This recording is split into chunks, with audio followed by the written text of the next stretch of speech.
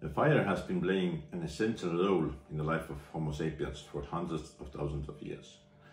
Fire is useful for cooking a meal, getting the warmth, or just cozy light in your cave.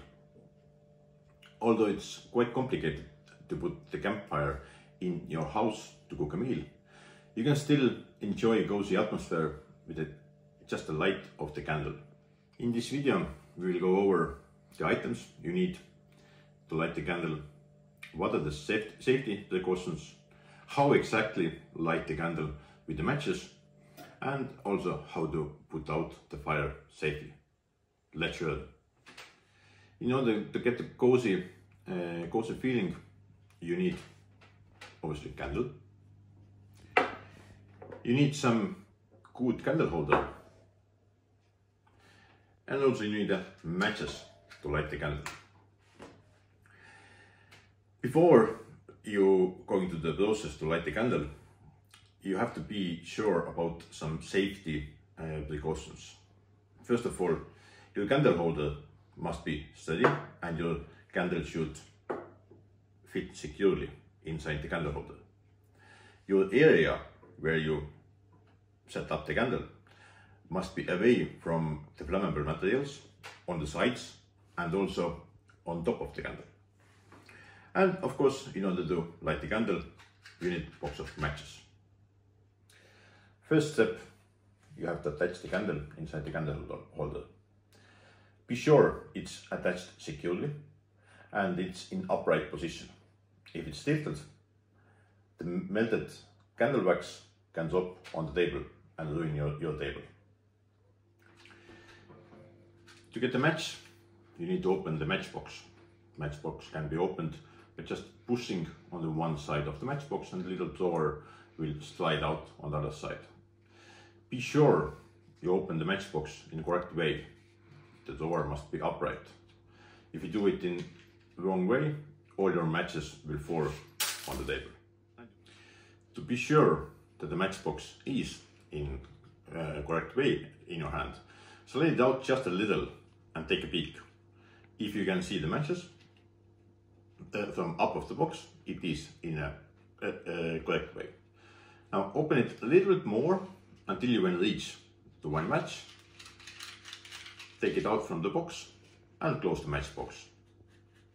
When you take out the match, observe carefully the tip of the match.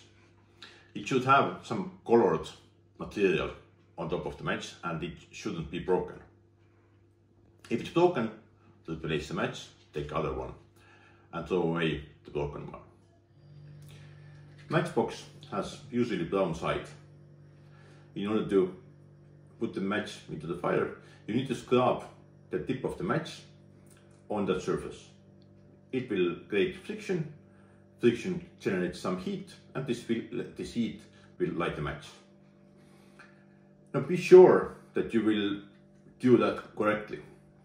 If you do it like this, you will get the fire. If you push it too hard, the match will break and the lit match may fall down on your carpet. And instead, to do it in correct way,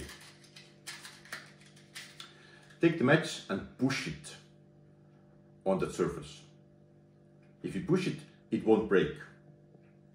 And you get the fire.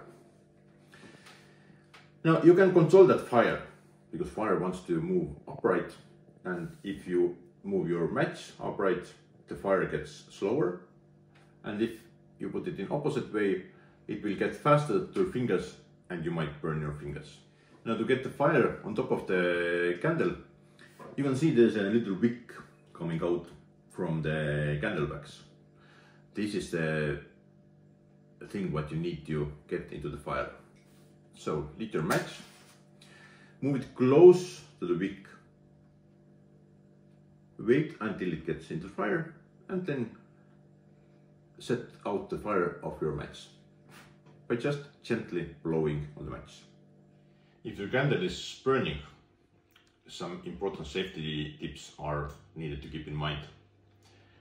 First and most important, do not leave your candle unattended. Do not leave the room when the candle is burning. Because you don't know what might happen while you are away. Next important thing, do not move the burning candle because underneath the fire there's a melted candle wax and this candle wax is hot.